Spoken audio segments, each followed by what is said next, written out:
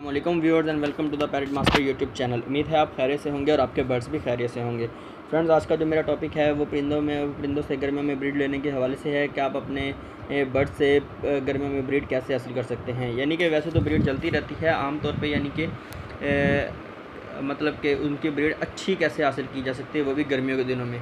کیونکہ ہم لوگ جانتے ہیں کہ پرندے جو ہیں وہ اکثرت میں بیمار ہونا شروع ہو جاتے ہیں یا گرمی محسوس کرتے ہیں۔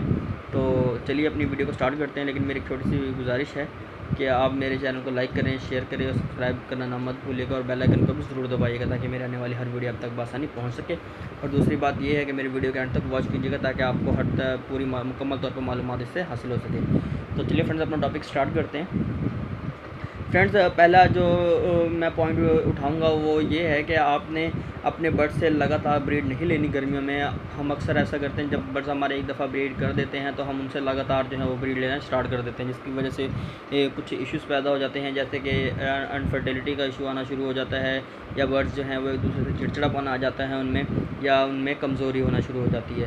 تو فرینڈز انڈوں کی انفرٹیلیٹی کا ہونا یا انڈے کم لے کرنا یا ڈیڈ ان شیل کا ایشو آنا یہ ٹوٹل جو ہے اس کا جو دار و مدار آتا ہے، وہ ان ہیلدی فوڈ اور دوسری بات یہ ہے کہ جو، جہاں پر ان کو یعنی کہ روشنی کا توازن ٹھیک نہ ہو، اور دوسری بات یہ ہے کہ ان کو کیلشیم کی کمی ہو جاتی ہے. کیلشیم، منرل، زنک آئرن کی کمی ہو جاتی ہے۔ تو یہ اکثریت میں برڈز میں ہو جاتی ہیں، یہ کوئی بڑی بات نہیں ہے۔ تو چلیے میں آپ کو بتاتا ہوں کہ یہ آپ کمیاں کیسے دور کر سکتے ہیں۔ فرسٹ آف آل فرینڈز آپ نے ایسا کرنا ہے کہ جو آپ کے کیجز ہیں، آپ ان سے جو ہیں، اگر آپ کے باکسز جو ہیں، وہ کے جی سے باہر لگے ہوئے ہیں، مٹکیاں باہر لگی ہیں، تو آپ نے ایسا کرنا ہے کہ ان کے جو ڈھکن اٹھا لینے ہیں اور اوپر کچھ ایسی چیز لگا دینی ہے جہاں سے وہ ہوا کا کراس جو ہے، وہ پراپرلی ہو سکے۔ یعنی کہ ظاہر سی بات ہے، ایک طرف تو اس کا ہول ہوتا ہی ہے مٹکی کا یا باکس کا، لیکن دوسری طرف بھی جو ہے، اس کا وہ ہوا کا کراس بن سکے، تاکہ وہ جو ہے وہ اندر بیٹھ کے اس کو گھبراہٹ نہ ہو اور اس کے مرنے کے چانسز جو ہیں وہ کم ہو جائیں گے۔ اکثر میں ہم نے دیکھا ہے کہ فیمیل انڈوں پہ بیٹھے بیٹھے بھی گرمیوں میں مر جاتے ہیں کیونکہ وہ گرمی برداشت نہیں کر پاتی بٹ انڈوں پہ بیٹھنا اس کی مجبوری ہوتی ہے، تو جس کی وجہ سے وہ مر جاتی ہیں۔ تو فرینڈز آپ نے اس چیز کا بھی خاص خیال رکھنا ہے کہ آپ اس کے اوپر کچھ جالی لپیٹ دیں یا کچھ ایسی کوئی چیز گھر میں تیار کر لیں یا کوئی جالی کا تھوڑا سا پیس لے لیں، اس کو کاٹ کے آپ مٹکی کے اوپر ایڈجسٹ کر دیں، باندھ دیں۔ اور یہ بہت اچھا طریقہ ہے۔ یا اور اگر آپ کے یعنی کہ مٹکی یا باکس کیج کے اندر لگے ہیں، پھر تو آپ کو ڈبل فائدہ ہے۔ تو آپ اس کو، اس کے جو ڈھکن ہے وہ آپ اتار دیں۔ باکس کا جو ڈھکن ہے، وہ بھی آپ کھول دیں تاکہ جو ہے ان کی وینٹیلیشن وہاں پہ کراس ہو سکے اور برڈ جو ہے وہ آسانی سے انڈوں پہ بیٹھ سکے اور پراپر طور پر اس کی ہیچنگ ہو سکے۔ فرینڈز یہ میرا کچھ یعنی کہ ایک پوائنٹ تھا اور میرا دوسرا پوائنٹ یہ ہے کہ آپ نے اپنے کیجز وہاں پر رکھنے ہیں جہاں پر وینٹیلیشن اچھی ہو، جہاں پر ہوا کا جو کراس ہو زیادہ ہو۔ کیونکہ جب تک ہوا کا کراس زیادہ زیادہ رہتا ہے تو چاہے پھر آپ کو وہاں پہ کچھ یعنی کہ ٹھنڈے پانی والا پنکھا جو ہے، جسے ہم کولر بھی کہتے ہیں یعنی کہ بڑا فین بھی لگانے کی ضرورت نہیں پڑتی اور جو ہوا کی وینٹیلیشن ہے کراس اچھا ہو تو وہاں پر جو ہے، ان سے ان کا کام اچھا ہو جاتا ہے، جس سے وہ برڈ جو ہیں، وہ ہیلدی بھی رہتے ہیں اور خوش بھی رہتے ہیں۔ اور دوسری بات یہ ہے فرینڈس کہ جہاں پر آپ نے کیج رکھا ہو، وہاں پر روشنی بھی زیادہ زیادہ دیر اسٹے کرتی ہو۔ جیسے کہ اگر سورج کی روشنی ہے، وہ تقریباً شام پانچ چھ بجے تک جو ہے وہ رہتی ہے، وہ شام چھ بجے تک ہی وہاں رہے۔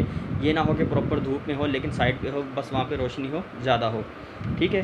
اور دوسری بات یہ ہے کہ اگر نائٹ ہے نائٹ میں آپ ان کے قریب بل لگائیں ایل ای ڈی بل لگائیں، سو واٹ کے جو گرم بل ہوتے ہیں، جو گرم ہو جاتے ہیں، آپ ان کا استعمال نہیں کرنا۔ آپ نے جو ہے وہ ایل ای ڈی بل یا زیرو واٹ کے بل کا یوز کرنا، وہ بھی کیچ کے باہر لگانا، اپنے اندر نہیں لگانا۔ یہ تھا میرا دوسرا پوائنٹ اور فرینڈس تیسرا پوائنٹ یہ ہے کہ آپ اپنے برڈس کو ٹھنڈی غذائیں زیادہ دیں، جیسے کہ لوکی ہو گیا کھیرا ہو گیا۔ دوسری پودینہ ہو گیا یا دھنیا ہو گیا۔ یہ چیزیں آپ جو ہیں اپنے برڈس کو زیادہ سے زیادہ دیں۔ اور دوسری بات یہ ہے کہ آپ ایک لیمن لے لیں۔ آپ ایک لیمن لیں، ایک لیٹر پانی میں آپ آدھا لیمن جو ہے وہ اسے آپ نچوڑ لیں اور بوتل کو اچھی طرح یعنی کہ ہلا لیں اور جو ہے اپنے پانی، دوسرے پانی کے ساتھ مکس کر کے آپ تھوڑا تھوڑا ان کو وہ پانی پلائیں تاکہ جو ہے ان کے اندر کی کیلشیم کی کمی جو ہے اور اندر کی جو گرمی ہے وہ بھی ختم ہو سکے۔ اور دوسری بات یہ ہے کہ اگر آپ یہ نہیں پلانا چاہتے تو آپ ایک وہ کیلشیم، ایک کیلشیم کی ٹیبلیٹ ملتی ہے، دس پندرہ روپے کی ملتی ہے۔ ہنڈریڈ ایم جی کی، تو وہ آپ نے لے لینی ہے۔ آپ نے ایک لیٹر پانی میں وہ ایک گولی ایک ٹیبلیٹ جو ہے وہ آپ ڈیزولو کر لیں اور جو اپنے برڈس کو جو ہے وہ آپ ڈیلی بیسس پہ تھوڑی تھوڑی پلاتے رہیں۔ یعنی ایک دن چھوڑ کے ایک دن بھی پلا سکتے ہیں، دو دن بعد پانی بھی پلا سکتے ہیں، رات کو آپ پانی نکال دیں اور دن میں جو ہے وہ پانی آپ ان کو پلائیں۔ اس سے جو ہے ان کے کیلشیم کی کمی بھی پوری ہو جائے گی اور جو ہے آپ کے برڈ جو ہیں، ان کی جو اندر گرمی ہوگی وہ بھی ختم ہو جائے گی اور ان کی جو فرٹیلیٹی ہے، اس کا بھی مطلب کہ بہت اچھا ہو جائے گا۔ اور دوسری بات یہ ہے کہ ان کی جو مطلب کہ جو گرمی فیل کرتے ہیں، جو برڈ جو ہیں، وہ گرمی فیل کرتے ہیں تو ان کی وہ گرمی بھی نہیں لگے گی۔ تو آپ فرینڈز آپ ان سوری آپ ان پوائنٹس کو اچھی طرح نوٹ کر لیجیے اور آپ ان پہ عمل کیجیے اور اپنے برڈس کو زیادہ سے زیادہ گرمی میں سپراؤٹس کھلائیں۔ آپ سپراؤٹس کھلانا آپ سپراؤٹس گندم کے بھی کھلا سکتے ہیں دال، مونگ کے یعنی مونگ کی ثابت، مونگ جو ہوتے ہیں، ان کے بھی کھلا سکتے ہیں۔ کالے چنے جو ہے وہ کریشنگ کر کے اگر بجیز ہیں تو کریشنگ کر کے وہ کھا سکتے ہیں۔ جو بڑے بڑے جیسے لب بڑیا کوکوڈائل ہیں وہ تو ثابت بھی کھا سکتے ہیں۔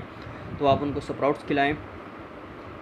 یعنی کہنے کی چیزیں یہ ہے کہ آپ ان کو ٹھنڈی غذائیں دیں جن کے اندر منرلس کیلشیم اور وائٹامن زیادہ ہوں، جو ان کی ہر چیز کی کمی کو پورا کر سکے۔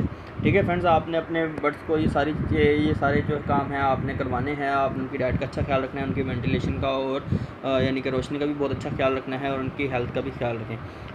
ٹھیک ہے فرینڈز، اگر آپ کو میری ویڈیو پسند آئی ہے تو اسے لائک کریں، شیئر کریں اور میرے چینل کو سبسکرائب بھی کیجیے گا۔